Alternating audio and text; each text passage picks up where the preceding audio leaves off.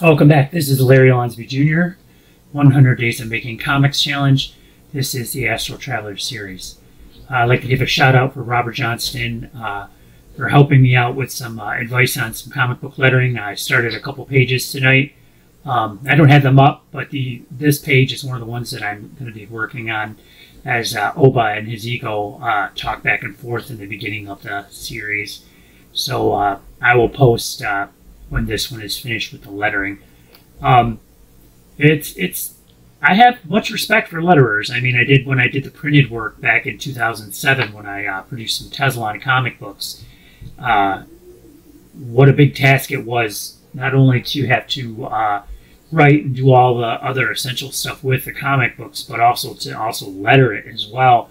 I think lettering is is one of the bigger jobs too.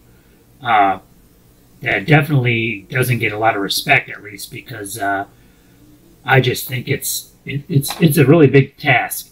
At any rate, um, I, am moving forward and uh, working on some lettering tonight before I crash for the night. I'm still not at 100%, probably about 65%. But this is important to me, so I'm going to keep going with this. And uh, I guess I'll talk to you guys next time. If anybody else has any input on any lettering or anything of that sort, uh, just just shoot me a message or anything. But thanks, guys. I'm still checking everybody's stuff out. Uh, stuff is doing pretty good from all the YouTube videos that I've been watching of some of the other creators.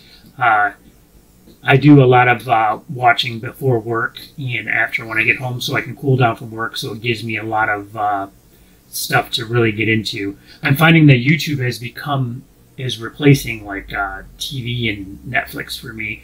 There's a lot of really good stuff on there, and uh, I've, I've come to like a lot of the 100 Days of Making Comics uh, creators because they really uh, opened my eyes to how uh, comics are important in storytelling, and it's fun to see day by day uh, their lives and how they create stuff. So kudos to you guys and and girls, and just thanks for uh, putting out content that I keep me really interested. And uh, I'll talk to you guys again. This is day 51, uh, 100 days of making comics, and this is Larry Lonsby Jr. signing off. Thanks.